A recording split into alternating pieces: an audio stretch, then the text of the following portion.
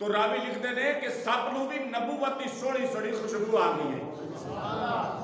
मैं इस बात के कितनी दलील पेश कर सकना सिहाबा पाक फरमाते ने जदों नबी पाक सल्लल्लाहु मुबारक वसल्लम, हजूर जदों किसी सिहाबी को दसना ना ना, महबूब अपनी मर्ज़ी ਨਾਲ चले जाते सन, किसी अपने मुरीद के घर तो फरमाया, किसी ने अगर लपना हों हजूर के हजूर किधर गए?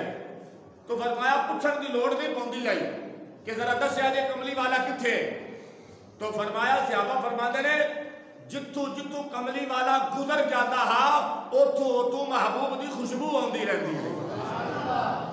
खुशबू के टुरया रहना हजूर तक पहुँच जाना। तो जो दरवाज़ा खुलिया ना, हजूर अंदर तशरीफ़ लै गए।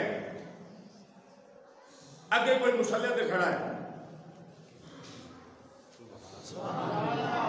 सुबह अल्लाह उची आखो अगे कोई मुसल्ले ते खड़ा है तो फिर मैं कुर्बान जावा सिहाबा पाक की नमाज़। असा तो नमाज़ पढ़ी है ना तो सानू कई ख्याल होंगे सानू कई ख्याल होंगे घर का ख्याल होता है, माल का ख्याल होता है, फ़सल का ख्याल होता है, बच्चियों का ख्याल होता है। अगर मैं दुकानदार की गल करा तो दुकान का ख्याल होता है। भाई ये अलमिया है ना। ख्याल होंगे हजारा ख्याल होंगे नमाज़ इतने ख्याल कितने तवज्जो है। इस सहाबा पाक की नमाज़ है ना। नमाज़ पे पढ़ते ने तो नज़र इतने उच्ची जातो सुभान अल्लाह। नमाज़ पे पढ़ते हुजूर तशरीफ़ ले आए। अंदर तशरीफ़ ले आए, कमली वाले आका। नमाज़ पे पढ़ते सन। नबूवत की सोहनी सोहनी जो खुशबू आई ना, ते नमाज़ छड़ के ते इंज वेखे नमाज़ छड़ के ना इंज वेख्या। मेरे महबूब की नज़र पई ते अबू बकर।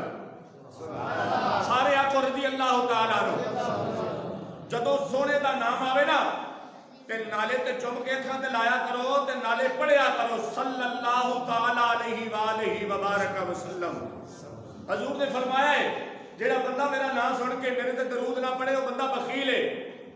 चुम लबना ये वखरा सवाब है। जो सोने पे दरूद पढ़ लेना बखरा सवाब है ऊँची आपको सुबह अल्लाह ये बखरी बात है हर बंदे की अपनी मर्ज़ी है किसी कोई बंदा साड़ी मर्ज़ी ना चल सकता ना ना अपनी मर्ज़ी है चुम लवे सुबह अल्लाह ना चुमे उसकी मर्ज़ी कोई बात नहीं लेकिन हजूर का नाम चुम के सारे पढ़िया करो सल्लल्लाहु अलैहि वसल्लम सोने दरूद भी पढ़िया